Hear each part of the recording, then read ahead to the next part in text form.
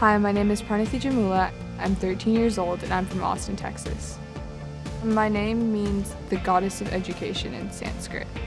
The person I admire most is my mom because she's the most hardworking person I know and she's really determined and focused and she has a lot of qualities that I aspire to be.